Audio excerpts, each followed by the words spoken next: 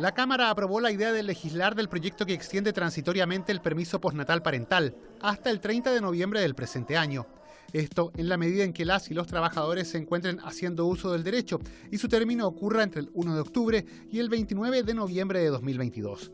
El texto, que retornó a comisiones para continuar su trámite, señala que también podrán acceder al beneficio quienes hayan regresado a sus funciones tras la finalización del permiso postnatal y las personas beneficiarias del postnatal parental extendido que no hayan completado los 60 días continuos. La decisión de las y los trabajadores de ejercer este derecho o de reincorporarse a sus funciones al término del postnatal parental deberá comunicarse por escrito mediante correo electrónico o carta certificada al empleador con al menos 5 días hábiles de anticipación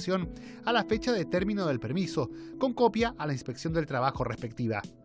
La omisión de esta comunicación por parte de la o el trabajador será entendida como la extensión del permiso. En caso de optarse por la mencionada extensión, se ejercerá en jornada completa y se extenderá desde el día siguiente al término del permiso postnatal parental.